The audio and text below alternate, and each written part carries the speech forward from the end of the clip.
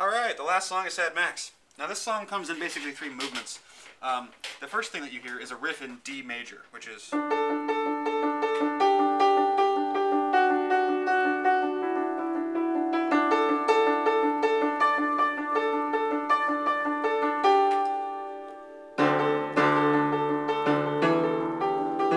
Now, if I played it right, that'd be awesome for a tutorial, wouldn't it? Uh, left hand just going.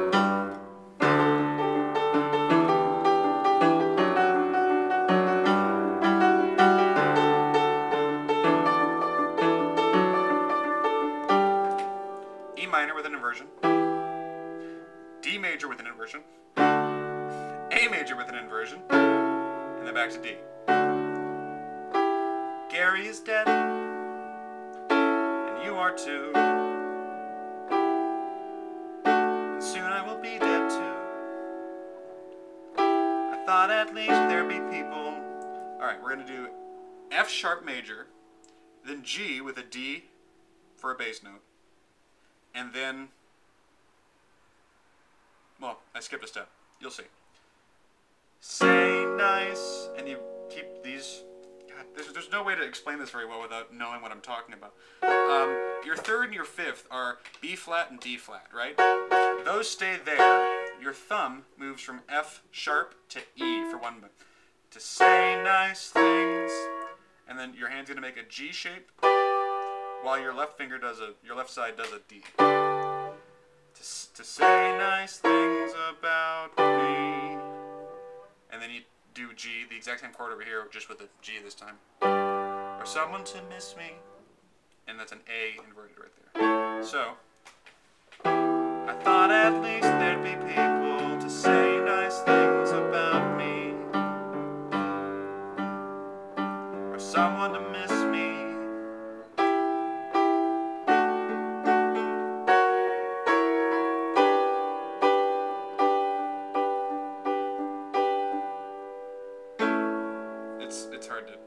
one more time because I know that I'm not explaining myself very well. I thought at. I'll do it half speed.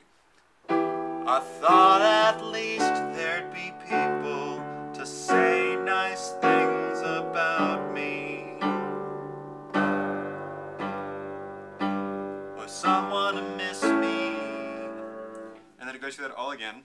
And then it goes into the fun part. Which is just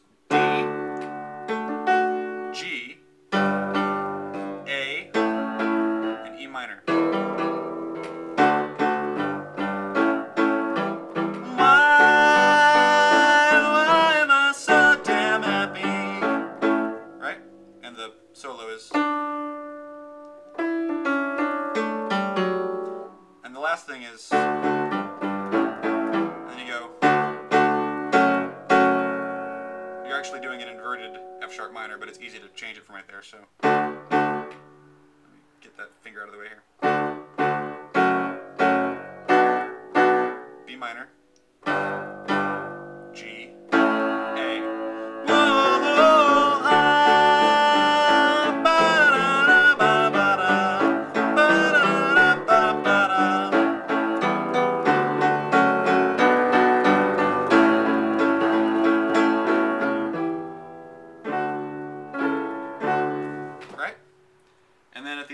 Just combine the so damn happy part with the thingy. So you're doing the the chord progression very sped up for disproportionately happy. And you know.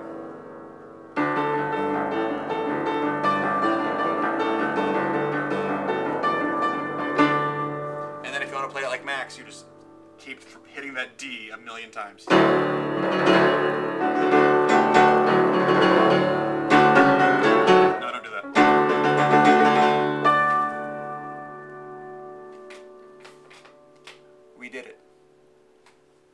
Thank you guys for watching these. Uh, if you did, uh, I hope you got any use out of them. Any song in particular, or just some interesting ways of forming chord shapes and voices. Uh, I assume you did not. I also assume, much like Max, that I'm talking to absolutely nobody. I'll see you guys later. Bye bye. Oh, gotta keep getting up after the thing. I say goodbye. I have to walk to the camera. Oh, it's. Oh, nah. Bye, guys.